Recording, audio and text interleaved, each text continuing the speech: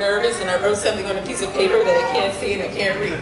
So I'm just going to say Spanish for a year. I, I've always wanted my children to speak, to be fluent in another language. And I was never able to do it for them. But I named my, my granddaughter Journey because I wanted her to travel, because that's something I've never done. And I wanted her to travel and I wanted her to be fluent in a language. So what I did is I, like Dorothy, you know, traveled on red Yellow Brick Road and she found the Wizard of Oz in Emerald City. Well, I got to my Google and my GPS. And I found 154 Post Avenue, Westbury.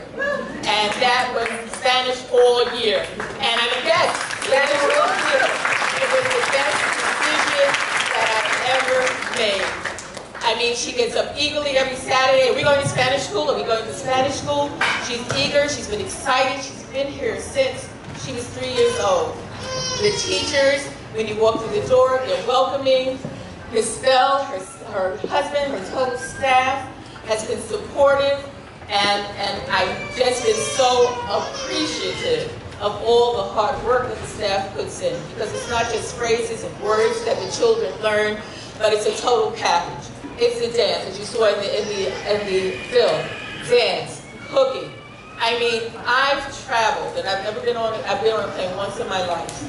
And I've traveled to the Caribbean, South America, Central America. I've eaten the best cuisine right here at Spanish all year. I had this year with, with Africa, I've had fufu, I've had um, el arroz con um, arroz oh, con okra. I'm not going to spoil it. I'm going to let Journey learn. Now she's going to try and teach me. but I must say that this experience has been an awesome one. I would not change it for the world. And I challenge you the world is getting to be a small place. You can get anywhere in hours. And our jobs and opportunities are not always here, right here in America. Sometimes you have to go across the waters in order to find that job, that special job, and for our children especially. So learning another language is important for them. So if it's not Spanish, choose the language you want. Take out that Google, take out that GPS, and get there. But I recommend Spanish all year. As they say, it takes a village to raise a child. I am glad that Spanish All Year, Ms. Bell and her staff are a part of My Journeys Village. Thank you.